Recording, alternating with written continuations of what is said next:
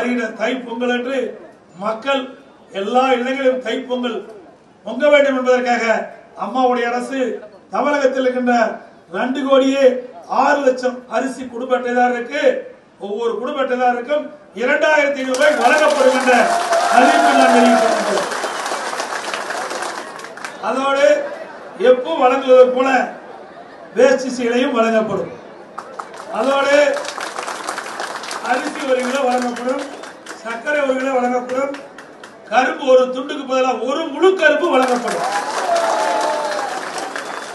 உலர் திராட்சை வழங்கப்படும் முந்திரி வழங்கப்படும் ஏலக்காய் வழங்கப்படும் இதையெல்லாம் கொண்டு போறதுக்கு நல்ல பையும் வழங்கப்படும்.